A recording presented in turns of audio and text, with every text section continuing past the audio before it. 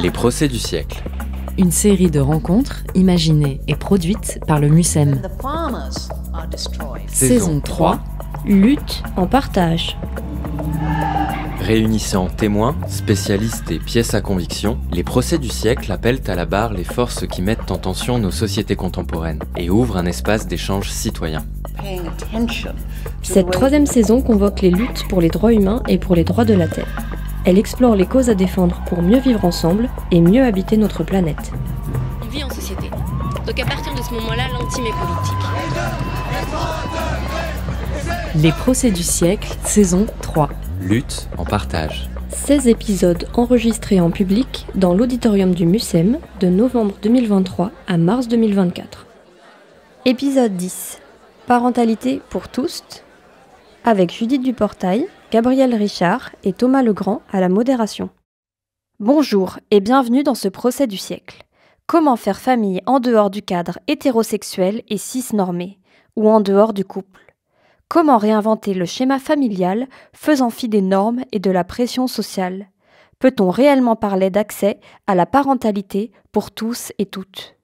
Aujourd'hui, nous nous intéressons aux nouvelles formes d'accueil et d'éducation d'un enfant, avec un focus sur les parentalités queer et solo. En effet, la possibilité de devenir parent a longtemps été associée à l'hétérosexualité. Et dix ans après l'instauration de la loi Taubira ouvrant le mariage aux couples de même sexe, l'égalité en matière de parentalité est encore loin d'être acquise pour les personnes LGBTQIA. De nouvelles avancées législatives sont encore réclamées par les associations sur les questions de PMA, GPA et d'adoption. Il y a aussi ces maternités rebelles, titre du livre à paraître de Judith Duportail, qui dissocie maternité, paternité et amour romantique et qui reste assez mal comprise par la société. Alors aujourd'hui, où en sommes-nous exactement? Qui a le droit d'être parent et avec qui en 2024 Une rencontre modérée par le journaliste et éditorialiste Thomas Legrand avec la sociologue Gabrielle Richard et la journaliste Judith Duportail. Bonsoir. Bonsoir tout le monde. Gabrielle Richard d'abord. Alors vous êtes sociologue et chercheuse, spécialiste euh, des questions du genre et de la sexualité et vous êtes euh, québécoise et vous êtes euh, l'autrice de Hétéro, l'école, point d'interrogation, et de Faire famille autrement aux éditions Binge Audio. Vous participez à des sessions de formation, notamment en France, qui vous sont commandées par les académies, des sessions de formation pour les enseignants, pour les aider à appréhender la question du genre et les interrogations euh, des élèves, des parents euh, euh, sur les questions de transition. Judith Duportail, bonsoir. Bonsoir. Vous êtes journaliste indépendante et vous avez écrit sur l'amour, sur la liberté, sur les réseaux sociaux aussi beaucoup. Et là, ce soir, vous venez parce que vous interrogez sur la forme de la famille, sur les familles hors normes, sur les intimités contemporaines. C'est un de vos termes, j'aime bien ce terme, c'est un, joli terme, les intimités contemporaines. Vous venez d'avoir deux jumeaux et vous avez aussi inventé un autre terme, maman sola, pas solo, sola, et vous allez nous expliquer ce terme. Et je pense qu'il faut commencer, Gabriel Richard, par euh, les mots, parce que euh, dans votre livre, il y a une partie glossaire où, vous définissez les mots, parce que dans ces domaines, les mots sont importants. Les mots euh, sont des objets d'émancipation, c'est-à-dire que quand on nomme les choses, des gens découvrent ce qu'ils sont aussi, grâce aux mots. C'est pour ça que c'est important de, s'entendre sur les mots. Et vous avez aussi, vous, inventé un mot, euh, c'est un verbe, le verbe queerer. Alors vous allez nous l'expliquer. Mais d'abord, puisqu'il s'agit de famille, vous vous parlez de famille queer. Qu'est-ce qu'une famille queer? Qu'est-ce que ça veut dire? Alors, merci pour cette opportunité de clarifier ces questions de vocabulaire. Mon objectif n'est pas de faire la sociologue et de vous euh, bombarder à défaut de meilleurs mots euh, de, différents euh, termes et lexicologie. Je pense que c'est important de clarifier au moins le terme queer parce qu'il reviendra à plusieurs reprises.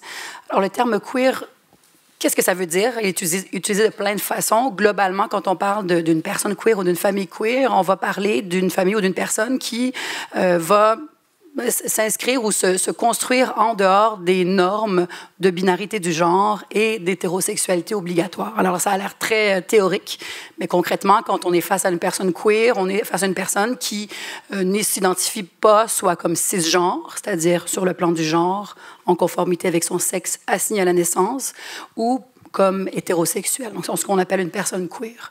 Le terme queer, très rapidement, c'est un terme qui a une histoire très péjorative. Donc le terme queer, initialement, c'est un terme qui était utilisé comme, euh, comme une insulte donc le terme queer veut dire étrange, anormal. Un renversement du stigmate. exactement. Donc on l'utilisait pour insulter les gens et les gens se sont emparés de ce terme-là pour s'autodéfinir. Donc on, a utilisé une resignification de ce terme-là. Et donc quand on parle de personnes queer, c'est ce dont on parle. Quand on va parler de queerer la famille, alors je sais pas si, je pense pas que j'ai la prétention d'avoir inventé ce, ce verbe-là, euh, ceci dit, quand on parle de queerer la famille, on, pense aux familles qui vont se créer en dehors des, attentes de complémentarité des genres, des attentes d'hétérosexualité obligatoire. Donc, ça peut être des, familles euh, avec un ou, des parents trans, des, mères lesbiennes, des pères gays. Ça peut être des, coparentalités queer où il y a trois, quatre parents, etc. Donc, c'est un peu ce qui m'a intéressé dans le cadre de, mes recherches et de mon livre, c'est d'aller voir comment faire famille euh, quand cette la famille est une institution normative très, très euh, ancrée de longue date, autour de normes bien établies, mais comment on peut euh, faire famille et éventuellement procréer ou, avoir des enfants par, d'autres moyens, euh, de, quelle marge de manœuvre on dispose dans ce contexte qui est très, très cadré, très, très normé, très, très hétéro et cis-normé? Oui, parce qu'il y avait évidemment le, le modèle classique, papa-maman, mais il y avait aussi quand on dépasse ce modèle-là, il y avait aussi l'idée qu'il faut un, de la féminité et de la masculinité. Et même euh, dans des couples homosexuels, on dit bah, oui, mais il y a de la, féminité, de la masculinité. En fait, euh, non. Il faut dépasser même ça, quoi. Alors, c'est intéressant parce que scientifiquement parlant, hein, on, s'est intéressé depuis des décennies à c'est quoi les familles queer, puis qu'est-ce qu'il y a comme problème avec les familles queer, parce que la prémisse, c'est quand même pas tout à fait normal d'avoir des enfants quand on n'a pas un homme, une femme, un papa, une maman, etc. Donc la prémisse, c'est on va les questionner qu'est-ce qui fonctionne pas? Si on n'a pas ce modèle d'un côté et ce modèle de l'autre. Et toutes les recherches dont on dispose depuis des décennies maintenant nous montrent que ce sont des, types de familles qui fonctionnent aussi bien, voire parfois mieux que des, familles hétérosexuelles qui n'ont pas nécessairement euh, euh, réfléchi de façon aussi active à leur entrée en famille. Alors pour le coup, quand on est une famille queer, euh, c'est difficile d'avoir un enfant par hasard ou sans l'avoir prévu activement ou sans avoir mis en place un certain nombre de choses et de réflexions en amont. Judith Duportail, puisqu'on en est aux, aux définitions et au lexique, expliquez-nous votre terme maman sola au début, euh, en fait, ça m'est venu euh, assez spontanément. Pour, euh, c'était une façon de m'approprier le terme maman solo et puis de le mettre pour moi au, féminin.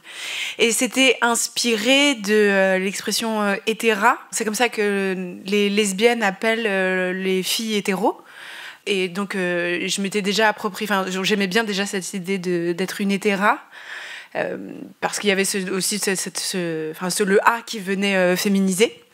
Et donc, euh, de m'appeler une maman sola, c'était aussi une façon de, de prendre ou en tout cas de, de m'approprier ce terme et d'y ajouter quelque chose d'un peu créatif et positif. Au début, je ne le voyais pas du tout comme un, comme un, enfin, comme un drapeau ou une façon de, dire, euh, de, dire quelque chose de plus. Mais plus ça va, plus je me dis qu'en fait, ça représente euh, une partie euh, des nouvelles maternités qui sont ces femmes dont, je fais partie moi, je me définis aujourd'hui comme romantico-sceptique, donc euh, qui arrive un peu à, questionner euh, l'amour romantique, mais euh, qui ont une très forte envie d'être mère et qui font le choix soit délibéré dès la vingtaine, soit plus pragmatique à la trentaine comme moi j'ai fait, de d'imaginer autre chose.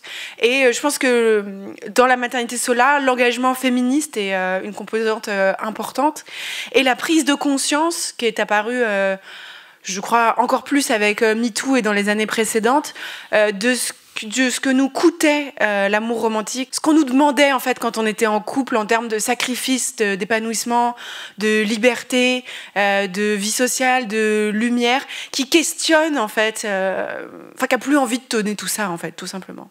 Donc voilà, pour moi c'est ça une, une, maman sola. Une aspirante maman sola. Y a, dans votre livre qui va sortir, mais j'en ai vu des, des, des extraits, il y a quelque chose qui est très intéressant sur la fameuse horloge biologique. Moi, ce qui m'a intéressé dans, cette idée, c'est toutes les réflexions que vous avez autour de cette horloge biologique qui est devenue un argument utilisé, surutilisé, manipulé par les uns et par les autres avec des chiffres euh, qu'on peut tordre dans tous les sens, mais qui disent tous une chose, c'est que finalement, euh, la femme doit se dépêcher d'avoir un enfant pendant qu'elle est belle, pendant qu'elle est attirante, pendant qu'elle est jeune, selon la société évidemment et toutes les normes qui nous sont, qui nous sont imposées depuis euh, des millénaires. En tout cas, il y a cette espèce de croisement que vous décrivez qui est assez effrayant. Mais décrivez-nous comment a été utilisée tordu cette notion d'horloge biologique. Alors, euh, je commence mon livre en, expliquant que j'ai passé, moi, 10 ans de ma vie à peu près à, avoir peur qu'il soit trop tard. Euh, de mes 25 à mes 35 ans, j'ai entendu le tic-tac, attention, si tu veux être mère, dépêche-toi. Euh, ne fais pas n'importe quel choix. Sous-entendu, peut-être ne sois pas trop difficile ou ne sois pas trop ambitieuse dans tes choix amoureux. Parce que, attention, le temps passe et pour toi, tu sais que 30 ans, c'est le début de la fin et 35, c'est la fin carrément. Euh, à tel point que je me demandais. Je me demandais, mais est-ce qu'on est vraiment vivante, en fait, nous les femmes, ou est-ce qu'on est déjà presque morte euh, passé 18 ans? Et en fait, je me suis rendu compte, grâce aux lectures que, que j'ai faites et à la réflexion que je partage dans mon livre, que la panique autour de la question de l'horloge biologique, elle est orchestrée par nos ennemis, en fait, euh, par les personnes qui souhaitent nous contraindre dans notre liberté. Et pourquoi est-ce qu'elle est orchestrée comme cela? Parce que depuis euh, la révolution anthropologique de l'IVG et de euh, la pilule, euh, nous avons pu atteindre en tant que femmes une, quand même euh, la possibilité de choisir quand on pouvait avoir des enfants. Et pour les ennemis de l'autonomie des femmes, euh, pour les personnes d'extrême droite, pour les machistes, pour les masculinistes, ce nouveau pouvoir est devenu insupportable. Et donc, a été orchestrée à partir des années 70, euh, la création de l'horloge biologique. La première fois qu'on parle d'horloge biologique, c'est le 16 mars 1978 dans le Washington Post, avec un article sur les femmes carriéristes. Euh, ça s'appelle Tic Tac Tic Tac, The Clock is Ticking for the Career Woman, donc l'horloge tourne pour les femmes carriéristes, et qui décrit le désarroi de femmes qui étaient très ambitieuses, qu'on pensait avant tout à leur carrière, et puis qui... à 35 ans, se sont réveillées. Ça, c'est le terme préféré des, euh, des, personnes euh, qui haïssent les femmes, en fait, que soi-disant on se réveille. Avant, en fait, avant même les années 70, le terme même d'horloge biologique n'existait pas. Euh, c'est un terme qui a été inventé en même temps que la contraception. Et c'est un sujet délicat. J'aimerais quand même préciser que c'est vrai que biologiquement, c'est plus facile, enfin, c'est plus rapide de tomber enceinte à 20 ans qu'à 40 ans. Mais quand on se penche sur la réalité des chiffres sur la fertilité des femmes, euh, ils sont grandement dramatisés, euh, grandement surévalués et toujours présentés de façon à présenter le corps des femmes comme un déclin permanent. On nous dit que on est toujours en train de perdre des œufs, que nos, ovaires sont toujours en train de vieillir. Et en fait, quand on regarde les, faits, en fait, euh, à 15 ans, on a déjà perdu 80% euh, de nos œufs, nous les femmes. Et pourtant, c'est là où commence notre fenêtre de fertilité. donc moi, j'ai envie de dire, mais laissez-nous perdre nos œufs peinards.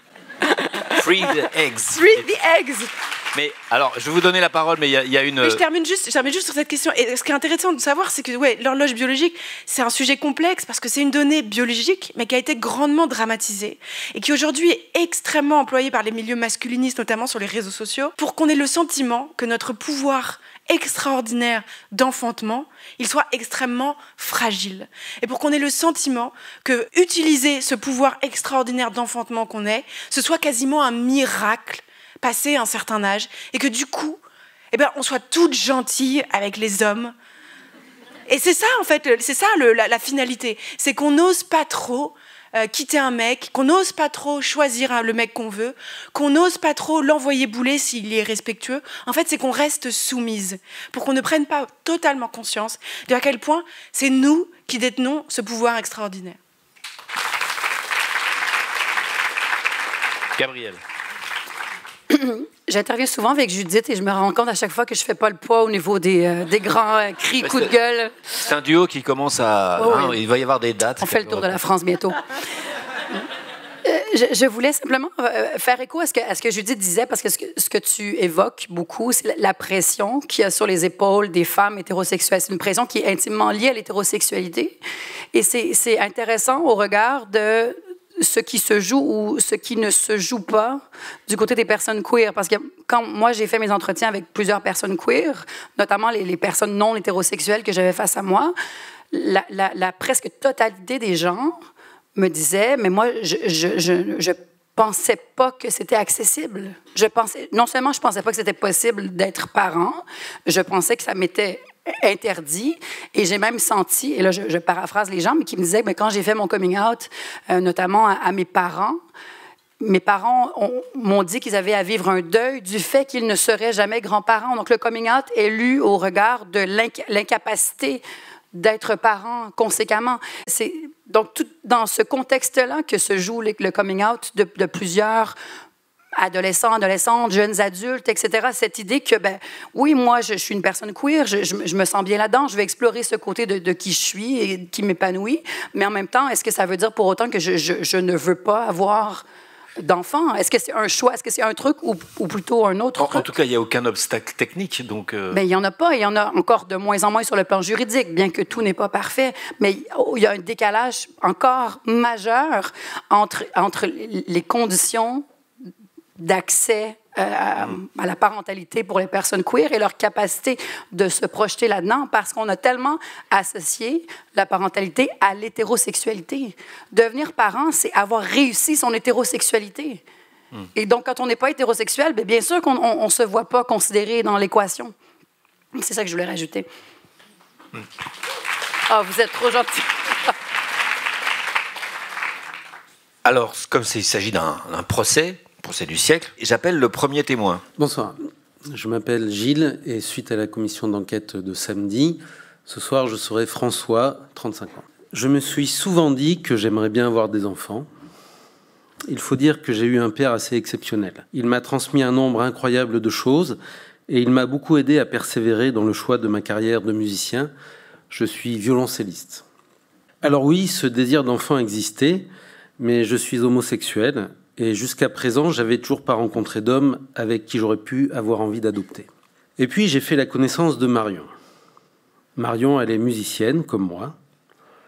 Elle avait 30 ans à l'époque et était dans un très grand désir d'être mère, tout en refusant totalement le modèle du couple classique, bien qu'hétérosexuel elle-même.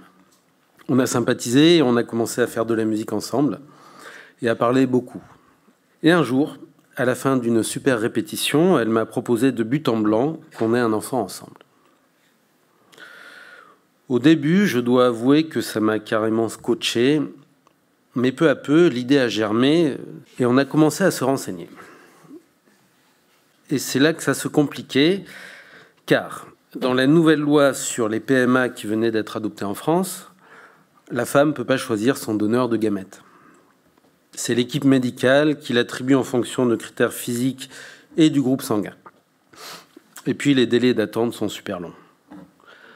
Alors on a commencé à regarder ailleurs en Europe et là, dans le privé, moyennant finance, les choses devenaient tout à coup beaucoup plus simples, sauf que les finances avec Marion, on les avait pas.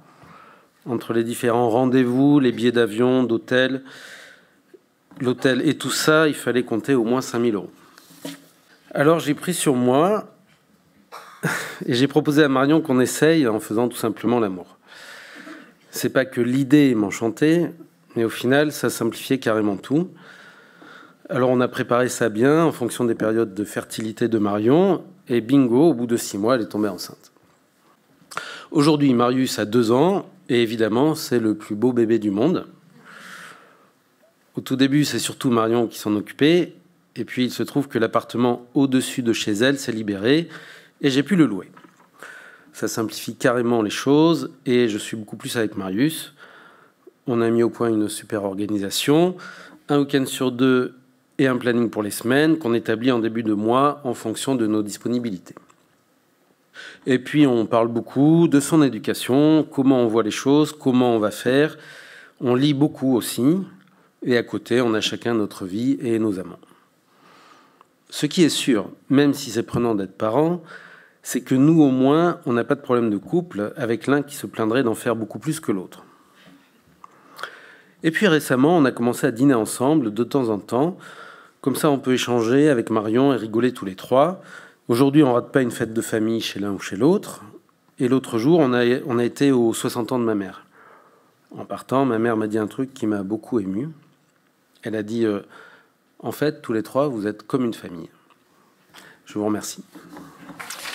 Merci. J'aimerais bien avoir votre. Je vais vous demander votre, votre réaction parce que finalement, ce, ce, ce cas-là a reproduit un, un couple presque normal on, est donc ici, dans, avec ce témoignage, dans un cas qu'on pourrait appeler de coparentalité platonique. Et euh, moi, je suis un peu en désaccord avec votre constat, Thomas, à l'effet qu'on est, en train de refaire un couple au sens traditionnel. Moi, ce qui ressort du témoignage, tel que je l'entends, c'est à quel point on a ici cherché à décorréler ce qui fait les différentes facettes du couple habituellement. Parce que le couple, au sens où on, l'entend dans nos sociétés euh, à l'heure actuelle, dans nos sociétés euh, françaises notamment, c'est cette idée qu'il y aurait de l'amour dans un couple, il y aurait de la sexualité dans un couple, il y aurait la codépendance financière dans un couple, il y aurait une cohabitation dans un couple, etc. C'est la, représentation qu'on se fait du couple, c'est celle-là, cette idée de la complémentarité au sein de l'unité du couple et puis au sein de l'unité familiale. Alors, en quoi ça sort du lot ici? Donc, on, est face à, donc, à des, amis proches qui décident d'avoir ce projet d'enfant, qui initialement ne cohabitent pas, non pas de, bon, ils ont décidé d'avoir des relations sexuelles pour avoir cet enfant-là, mais au-delà de ça, chacun, chacune ont leur vie sexuelle séparée, leur partenaire amoureux séparé, donc on est dans une, décorrélation presque totale. Bien sûr qu'il y, il y a des paramètres qui, qui, bougent et qui reviennent, cette idée d'aller potentiellement co c'est pas une cohabitation, mais d'aller habiter très proche pour avoir cette vie, euh, cette vie familiale et cette présence au quotidien dans la vie de l'enfant.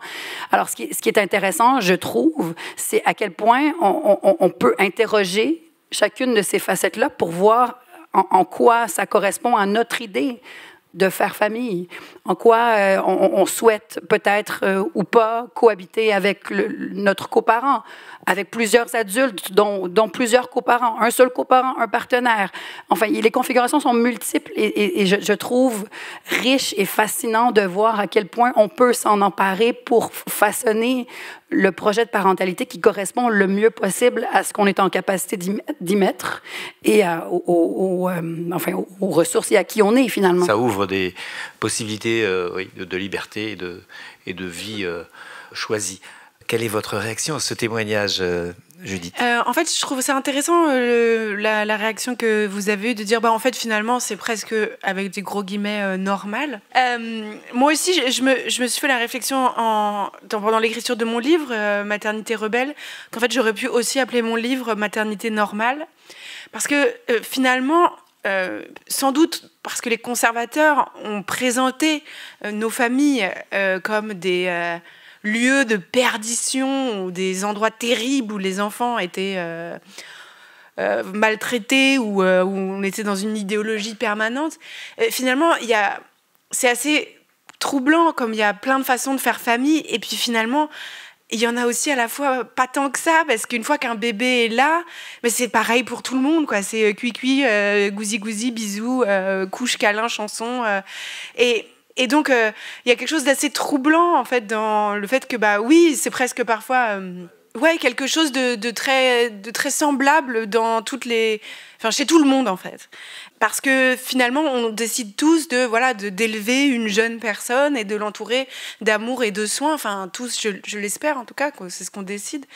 Et, donc, y a, je trouve que c'est c'est ce, double, aspect sur la, parentalité et les familles que je trouve passionnant, qui comment on essaye de réinventer des choses et que c'est révolutionnaire et qu'en même temps, euh, on a aussi envie, en tout cas moi j'ai aussi envie, d'être reconnue comme euh, la maman la plus banale euh, qui existe. Voilà. bon, ça c'est vos enfants qui le diront à l'adolescence. deuxième témoin. Bonsoir, je suis Alima. J'ai participé à la commission d'enquête samedi et ce soir pour vous, je serai Virginie. Je suis donc Virginie. J'ai 32 ans, je suis ingénieur biomédical, je suis célibataire, j'ai une vie sociale très active et je veux préserver ma liberté à tout prix. Depuis quelque temps, l'idée d'avoir un enfant fait son chemin. Sans avoir pris encore une vraie décision, j'ai commencé à me renseigner, vu que nous, les femmes célibataires, on a maintenant accès à la PMA. Vu l'explosion des demandes depuis l'adoption de la loi, les centres spécialisés ont du mal à suivre et en gros, à partir du moment où le dossier est enregistré, il faut compter en théorie un délai de 12 à 18 mois pour un don de sperme. En réalité, on est plus proche d'un délai de deux ans. J'ai commencé à regarder ce qui se faisait ailleurs en Europe, quitte à payer, et assez rapidement, je suis tombée sur le Danemark qui semble être le leader de la PMA. D'abord parce qu'ils ont été les premiers à légaliser les unions homosexuelles dès 89, les premiers aussi à autoriser dès 2016 les dons d'ovocytes et de sperme de façon anonyme ou pas. J'ai donc choisi l'une des cliniques bien notées et puis sur leur conseil, j'ai appelé l'une des plus grandes banques mondiales de sperme, danoise elle aussi. J'ai eu une conversation téléphonique avec une assistante qui a pris le temps d'un long entretien avec moi en français pour répondre à toutes mes questions, m'expliquer la procédure et comment se fait la sélection des donneurs. Puis, en trois clics et 12 secondes, j'étais inscrite sur leur site. Et tout de suite, j'ai eu accès à leur catalogue. C'est-à-dire une première galerie de fiches avec photos des donneurs quand ils étaient bébés. Donc, je clique sur une fiche et j'accède au profil complet. D'abord, quelques mots où le donneur se décrit, puis 30 secondes pour entendre sa voix, puis le dossier défile, taille, poids, carrure, pointure, taille de vêtements, couleur de peau, forme du visage, lèvres, sourcils, couleur des yeux, barbe, couleur, texture et épaisseur des cheveux, groupe sanguin, profession, etc., etc.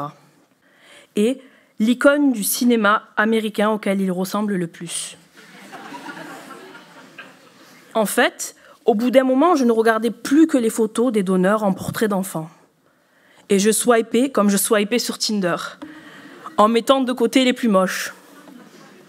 Et puis au bout d'un moment, je me suis rendu compte que quand j'ouvrais un dossier, je cherchais en fait des critères de perfection. Une perfection physique, bien sûr, selon l'idée que je m'en fais, mais aussi une perfection d'un type d'homme accompli, intelligent, sensible, avec une réussite professionnelle et sociale. Qu'est-ce que j'étais en train de faire? Bien sûr, pour soi-même, on veut le meilleur, mais qu'est-ce que cette idée du meilleur? Et c'est quoi? Le futur d'un monde qui se donnerait cet, horizon-là. Prise de vertige, j'ai coupé ma connexion. Je vous remercie de votre attention. Merci beaucoup.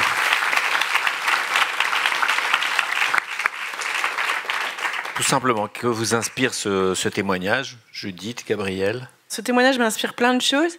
Euh, donc, euh, le, site euh, qui est décrit, c'est donc le site de la plus grande banque de, de gamètes mondiale. Donc, une grande partie des femmes qui ont fait une PMA l'ont déjà consulté. Et c'est vrai que la première fois qu'on le regarde, il peut y avoir un sentiment un peu de vertige ou de, malaise.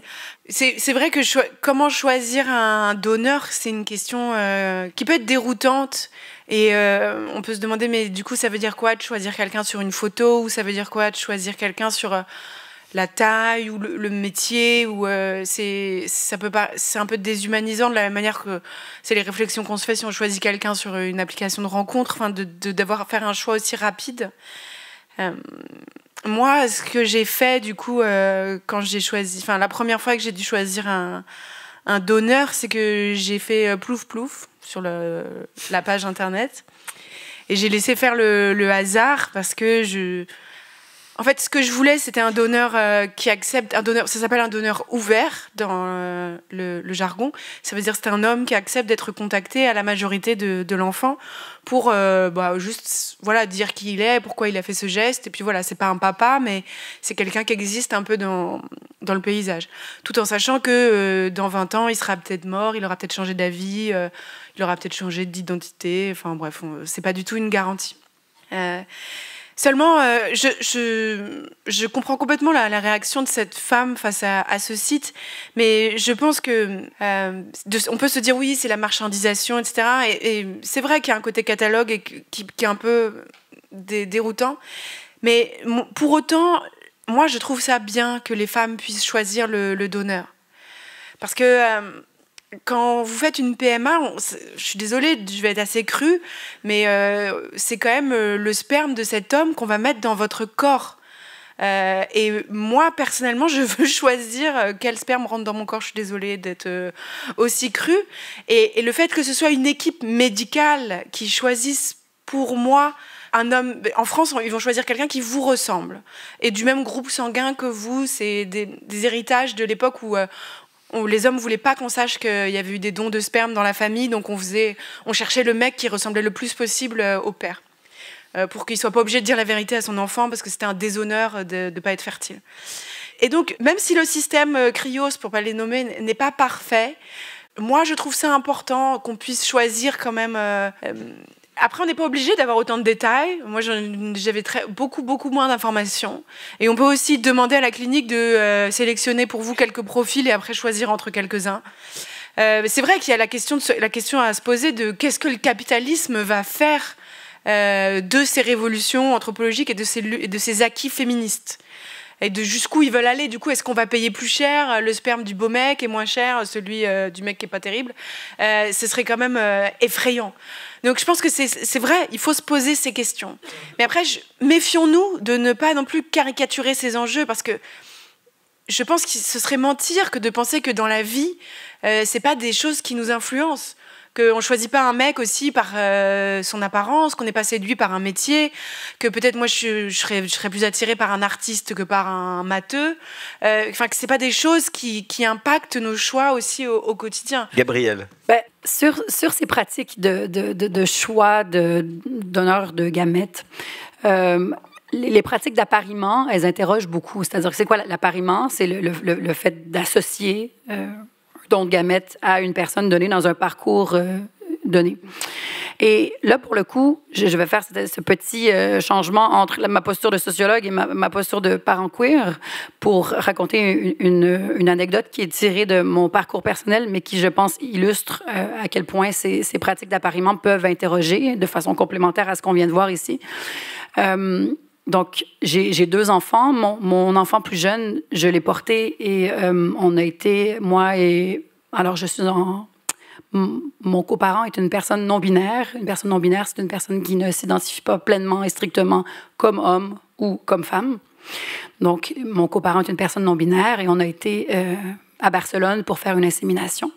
Et je me souviens de ce moment où on était donc dans, dans la clinique, un peu fébrile de, comment ça va se passer, les, les, premières rencontres, etc. Et donc je m'assois, mon partenaire est à côté, on est face à une médecin qui dit merci d'être là, comment allez-vous, blablabla, et qui me pose des questions sur euh, ma santé, mon cycle menstruel, etc.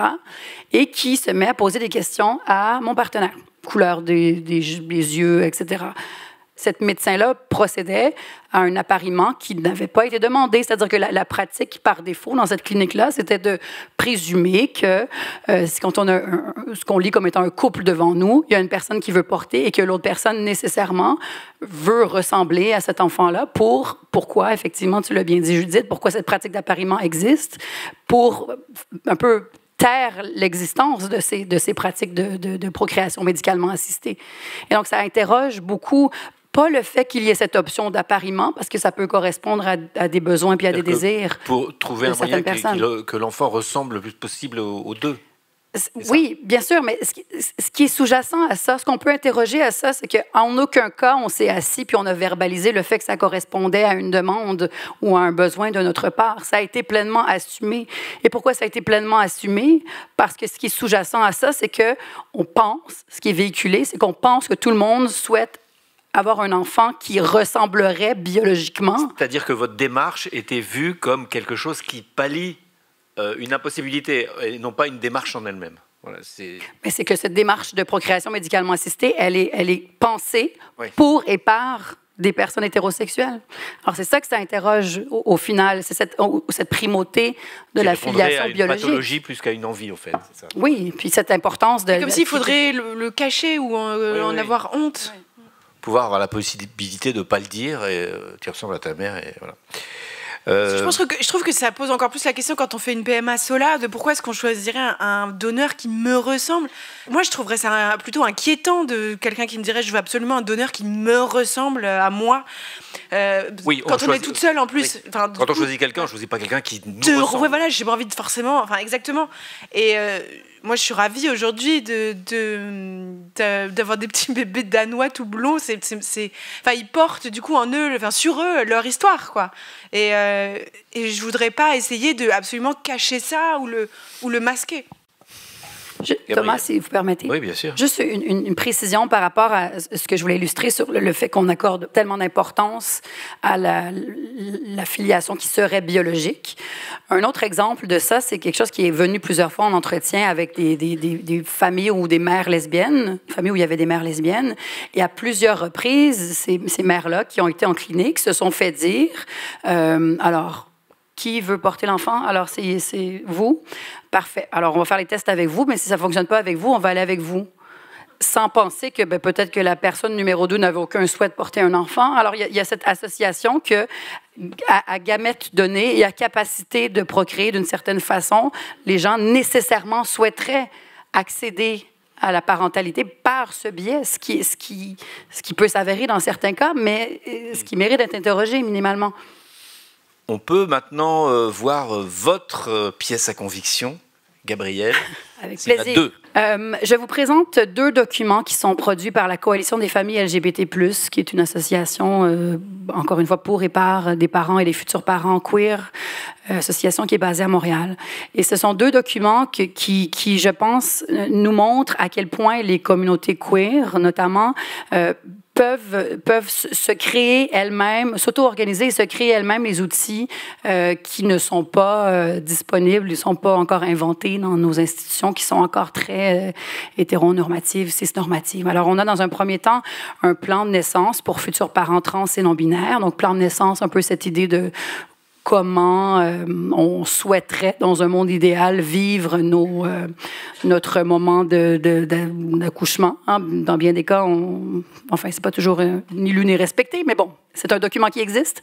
Et ici, on voit qu'il a été adapté aux réalités des personnes, notamment parents trans et non-binaires, et cette idée que aux, informations de base qui sont demandées ou qui sont précisées sur un plan de naissance habituel, comme le nom légal, le nom d'usage, peut-être le, si on connaît le, sexe assigné de l'enfant, etc., il y a cette possibilité de, rendre par écrit des informations qui sont capitales à notre sentiment de, de bien-être dans un moment qui est un moment de, de, grande vulnérabilité, qui est un moment de le moment de l'accouchement, le moment de la rencontre initiale avec euh, avec l'enfant qu'on porte, etc. Donc la capacité ou un endroit pour nommer notre ou nos pronoms de prédilection, les accords qu'on préfère qu'ils soient utilisés pour nous et la manière dont on souhaite être nommé. Donc en l'occurrence dans ce cas de figure là, il, il peut y avoir notamment des, des parents euh, gestateuristes non binaires ou des hommes trans qui portent un enfant, mais qui ne souhaitent pas pour autant euh, se faire référer à eux comme étant la mère de l'enfant. Donc, on, peut euh, faire un,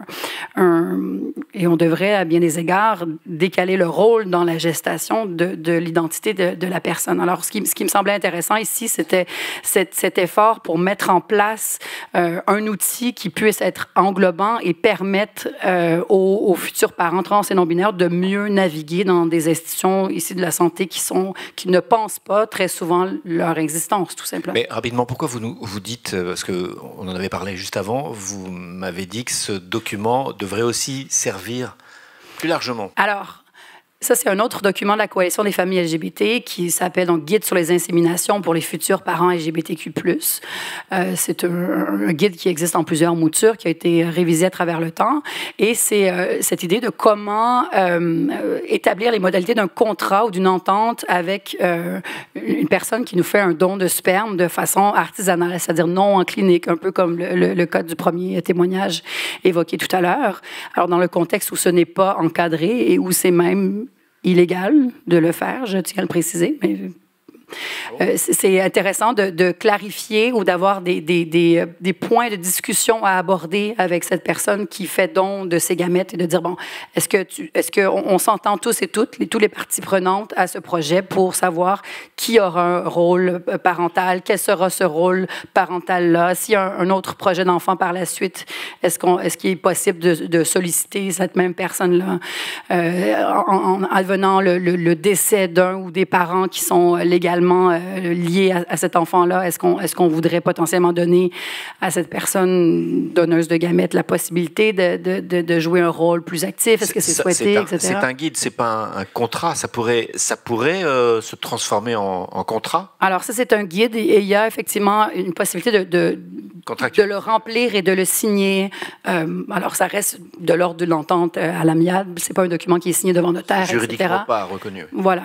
Mais pour autant, ça permet, et c'est ce que je voulais dire, ça permet d'avoir un prétexte pour réfléchir collectivement à la manière dont on souhaite tous et toutes s'impliquer dans un projet d'enfant et avoir une occasion de se poser des questions qu'on qu ne souhaite pas toujours euh, se poser quand on est dans le, vif du projet et quand on est excité par cette, probabilité qu'on qu devienne parent.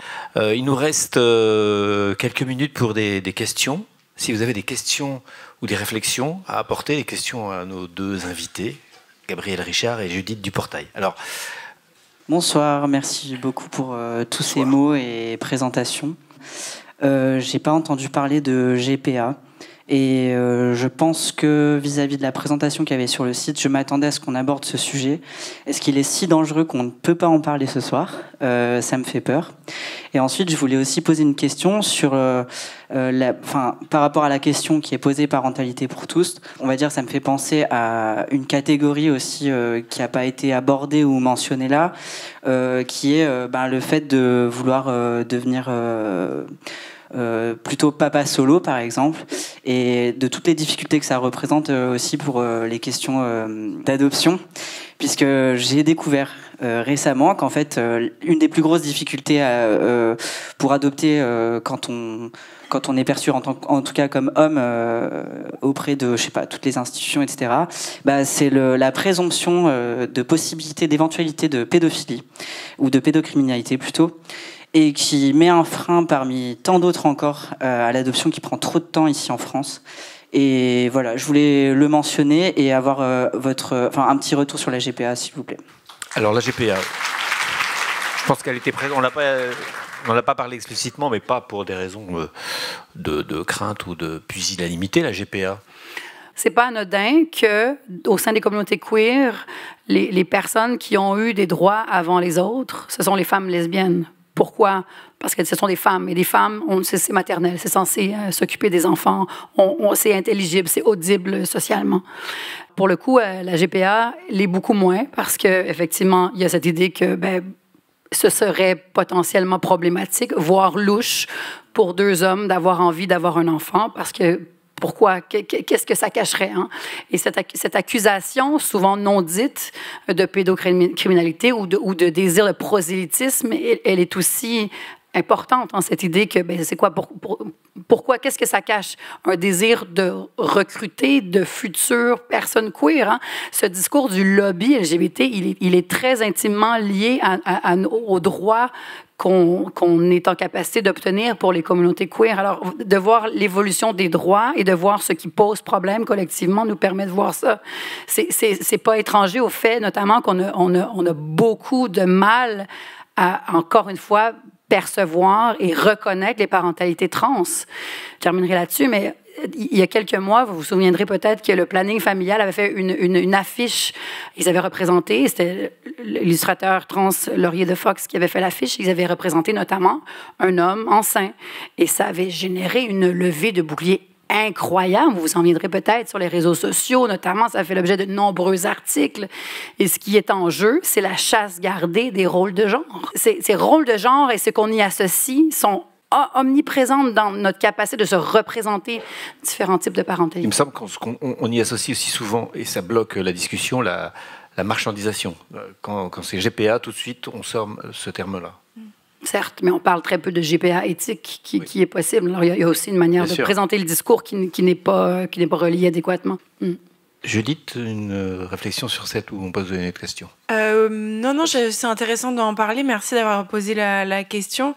Euh, parce que euh, moi, je, comme à l'image des féministes en France, euh, c'est un sujet pour lequel, sur lequel moi, dans ma tête, dans mon cœur, j'ai pas encore euh, tranché ma position. Et je pense que c'est bien aussi parfois de pas avoir un avis euh, tranché. Je partage ce que je ressens, c'est que je comprends complètement l'inspiration des papas solo. Comment je pourrais ne pas la comprendre Et je me demande si, si moi j'avais pas eu d'utérus, je sais pas, est-ce que est-ce que j'aurais fait une, si j'avais eu les moyens ou la possibilité, est-ce que j'aurais fait une GPA Probablement, d'ailleurs, du coup c'est compliqué de, trancher ou probablement pas, j'arrive pas à savoir.